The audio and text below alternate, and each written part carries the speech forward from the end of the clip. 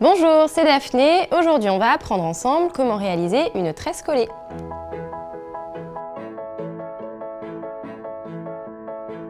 La tresse collée, c'est une tresse à trois branches, c'est une tresse classique à laquelle on va ajouter à chaque fois des mèches. On va commencer par passer les cheveux d'un côté à gauche ou à droite. Il faut que vous ayez plus de cheveux d'un côté ou de l'autre. Moi, j'ai choisi de faire ma tresse collée à gauche. Je prends une certaine quantité de cheveux qui n'est pas trop grande. Pour créer les trois branches de votre tresse, vous pouvez piquer deux doigts dans la séparation.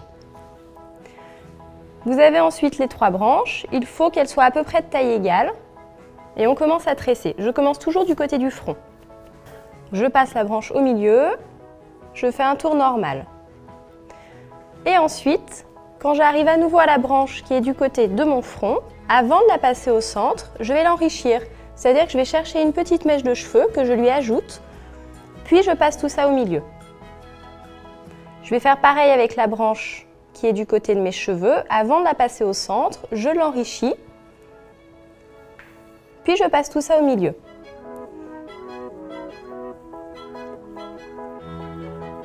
Qui est très important, c'est d'avoir les mains bien collées au cuir chevelu. Il faut pas oublier que c'est elle qui donne la direction à votre tresse. Donc là, j'ai envie que ma tresse aille légèrement vers l'arrière.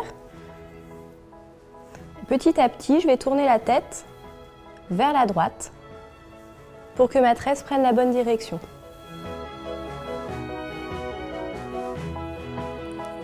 Une fois que vous arrivez à l'oreille, vous pouvez terminer en une tresse classique, c'est-à-dire qu'on arrête d'enrichir et on fait notre tresse et on s'arrête un petit peu avant les pointes.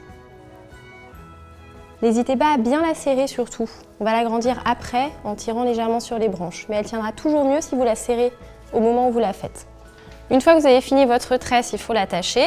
Pour ça, vous pouvez prendre soit un élastique, mais je vous déconseille les élastiques en plastique qui cassent complètement les pointes et qui abîment vraiment les cheveux. Donc vous pouvez prendre un élastique, mais plutôt un élastique en tissu et sans partie en métal, parce que ça casse aussi les cheveux. Sinon, vous prenez une petite épingle comme celle-là et vous la tordez au bout de votre tresse. Vous transpercez le bout de votre tresse et vous tordez l'épingle autour en la tenant bien.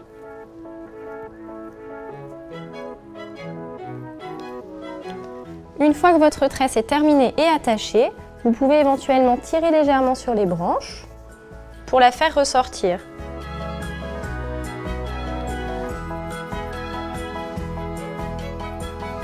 Et voilà, notre tresse est maintenant terminée. J'espère que j'ai été claire. Surtout, n'hésitez pas à laisser un commentaire et à vous abonner à la chaîne YouTube Duel. Et nous, on se retrouve très vite. À bientôt